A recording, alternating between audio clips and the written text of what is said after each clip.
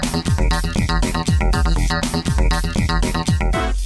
I've been surrounded by strong women my entire life, which I think has really helped shape me. Well, that includes my mother, who is, you know, a very strong woman, has raised a family and worked the whole time. My aunts have been super influential, my grandmothers, my closest friends and work colleagues who are women too. I mean, we lean on each other, we support each other. For my role that I just recently started and I'm in now, people who like Parks and Recreation on TV, um, I like to think I could be Leslie One day.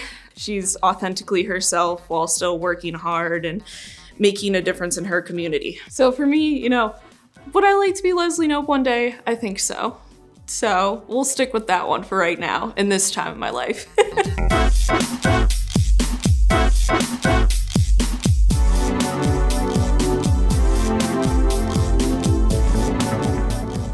As a woman in the STEM field, I want to continue to increase that diversity in engineering and construction. I think it helps to bring new ideas in. I think it helps people look at things in a different way. And especially for women in engineering, I think that being successful in my field and being able to, you know, be myself while being successful in my field makes it easier for other women specifically to get involved in the field.